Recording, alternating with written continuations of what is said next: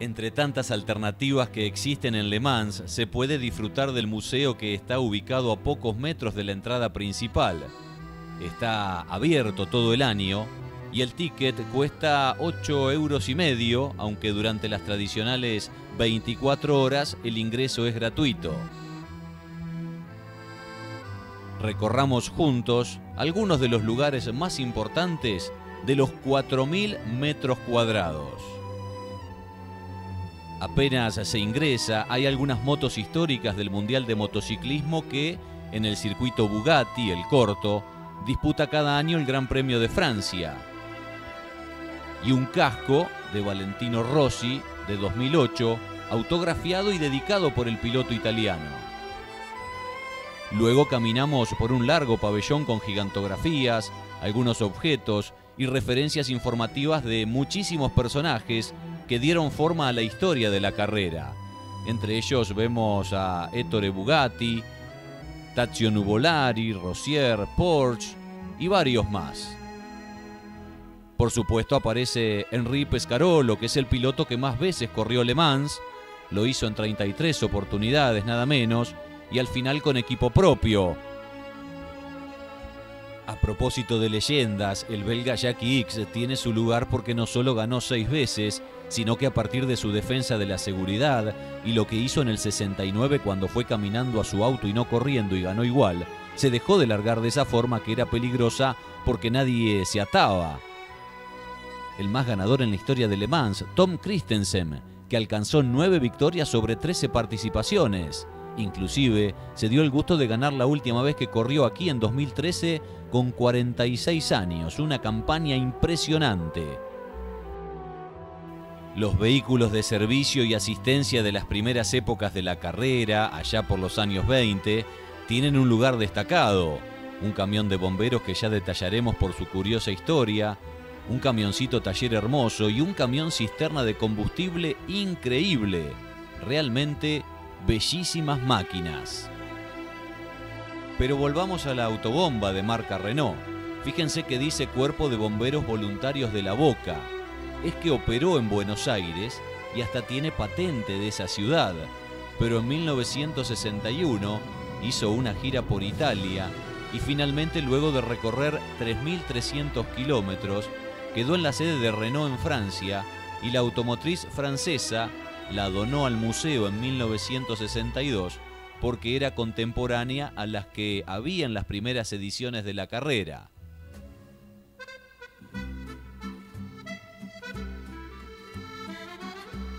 Todos los modelos de autos que alguna vez participaron en las 24 horas de Le Mans están representados aquí a través de autitos de colección que son exhibidos en unas vitrinas muy coquetas. Son cientos. Hay también maquetas representando diferentes momentos de la historia y un cine en el que se pasan películas de cada una de las ediciones que se pueden ver eh, cómodamente sentado. Lo lindo de esto es que tienen armados los podios de cada año. Obviamente les mostramos el de 1954, cuando ganó Froilán González junto a Trintignant con la Ferrari 375 Plus. Fue el único argentino en lograrlo y manejó 17 horas de las 24. Allí está el Jaguar que lo escoltó y el Cunningham que fue tercero. Luego del triunfo de Froilán, el mejor resultado de un compatriota lo consiguió Oscar Larrauri en 1986. Poppy corrió con un Porsche 962 privado, luchó contra los equipos oficiales y junto a Jesús Pareja y el francés Gaugier terminó segundo. Larrauri además es el argentino que más veces corrió, con nueve participaciones.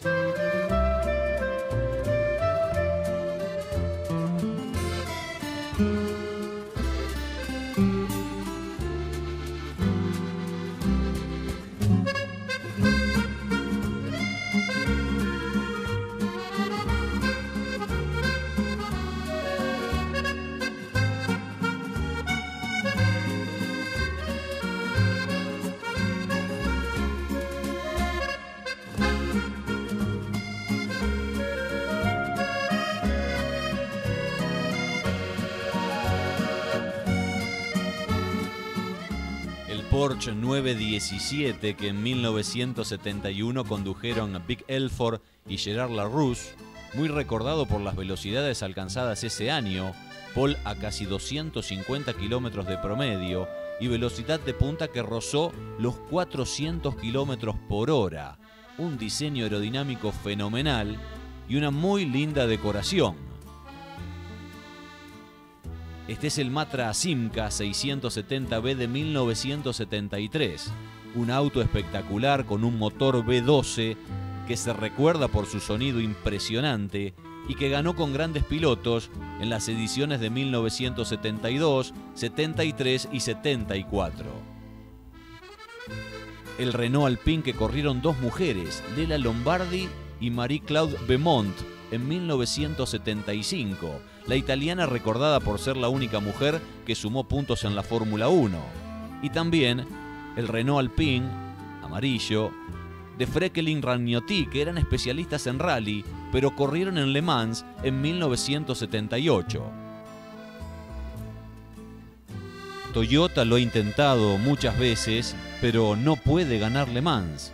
La primera participación fue en 1983 y en los 90 tuvo chances de ganar más de una vez. Este es el prototipo de 1994 que terminó en segundo lugar con Eddie Irvine, Jeff Krofnoff y Mauro Martini.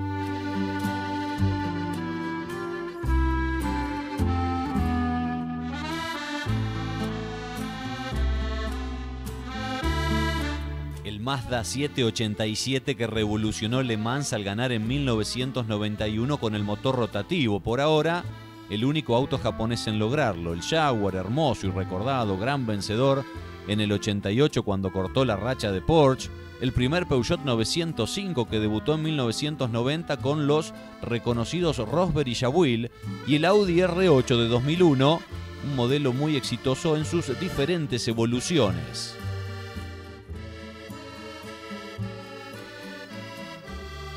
Atrás un prototipo Cadillac, un proyecto que duró solo dos años, y aquí el Courage con motor Peugeot V6 de Sodemo, que en 2003 corrieron Sarracín, Bullion y Lagorcé un auto que era de la escudería de Pescarolo.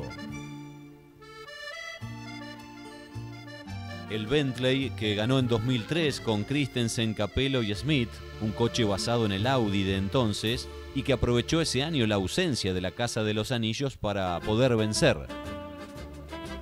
Son muy lindas las láminas que hay en varios lugares del museo de cada edición de la mítica carrera francesa. Este es el Peugeot 908 que conducido por Alex Burns, David Braban y Marc Genet, único español en conseguirlo, se quedó con la victoria en 2009 encabezando el 1-2 de la casa francesa. Detrás, un Audi R10, ganador en 2008 con Magnish, Christensen y Capello. Ese modelo en 2006 logró el primer triunfo de un auto con motor diésel en Le Mans el Nissan Nismo, que con un concepto revolucionario apostó al motor delantero y tracción delantera en 2015, aunque el resultado no los acompañó. Y detrás el Audi R18 diésel híbrido, que dominó en 2013 con Magnish, Duval y Christensen, quien ese año se retiró de Le Mans ganador, consiguiendo el noveno halago aquí